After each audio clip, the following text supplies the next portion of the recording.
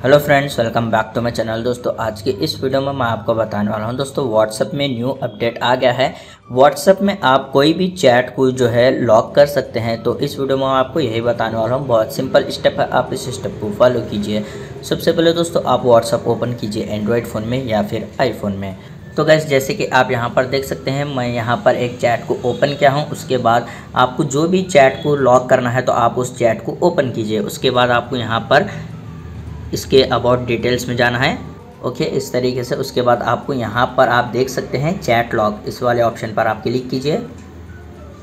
फिर आपको यहाँ पर lock this chat with fingerprint आपको जो है इसको अनेबल कर देना है। आप यहाँ पर देख सकते हैं आपको फिंगरप्रिंट से यहाँ पर इसको चैट को लॉक कर देना है।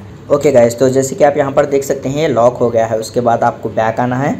आपको यहाँ पर व्हाट्सअप पे आना है। अगर आपको इसको चैट को अनलॉक करना है तो आपको यहाँ पर इस तरीके से स्क्रॉल करना है। यहाँ पर आप देख सकते हैं, आपको चैट लॉक का ऑप्शन आ जाएगा। उसके बाद आप यहाँ पर लॉक चैट्स इस वाले ऑप्शन पर आप क्लिक कीजिए। ओके उसके बाद आप यहाँ पर फिंगरप्रिंट से भी इसको अनलॉक कर सकते हैं, या फिर आप पिन का भी यूज़ कर कर इसको अनलॉक कर सकते हैं। तो जैसे कि आप यहाँ पर देख सकते हैं, यहाँ पर मेरे पास जो है चैट अनलॉक हो गया है तो इस तरीके से आप जो है इजीली व्हाट्सएप पर चैट को जो है लॉक कर सकते हैं और अनलॉक कर सकते हैं। उम्मीद है आपको ये वीडियो पसंद आ गया हो तो प्लीज़ लाइक कर देना और इसी तरह के वीडियोज़ देखने के लिए चैनल को सब्सक्राइब कीजिए।